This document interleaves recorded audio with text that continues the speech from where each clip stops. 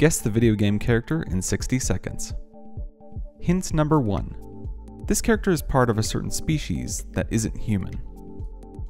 Hint number 2. This character has an incredible amount of physical strength, but I wouldn't say they're that buff.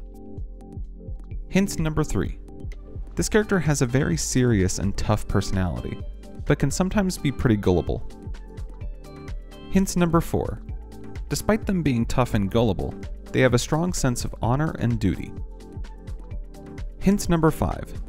When this character was first introduced, they were an enemy to the player, but they later turned into a hero. Final hint. This character is known to wear big white gloves.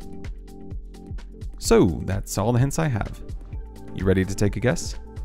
The character is Knuckles from Sonic the Hedgehog. Did you get it right?